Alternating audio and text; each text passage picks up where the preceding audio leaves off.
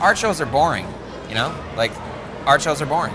You go, there's a lot of cool stuff hanging up. Everybody looks at each other's shoes and checks out each other's outfits and says snarky little comments. I've only been attending them for about 20 years and I'm long since really fucking bored.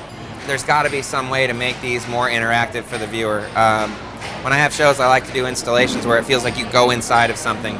To be able to like embrace that and actually play with it and physically touch it and move it changes the whole definition of an art show. If you really love Frank Kozik's artwork, for example, I mean, you, you get to play Frank Kozik's world. What's the process that you'll follow to design the game? Beyond all the normal challenges of making a piece of artwork that people want to look at and become involved in, you also need to have it work with the functionality of the game. You know, you realize that you have this big open area but I can't just design this big open area however I want and put whatever I want there. It needs to be something that coincides with this and the way that the action on the game plays. So it's actually, uh, it's kind of challenging. I think it's really nice the idea that everybody can combine forces and get the energy of these fans, people who like our artwork, and combine that with guys that know these games inside and out. A challenge like that isn't really something where I'm like intimidated. It's more like I'm looking forward to it.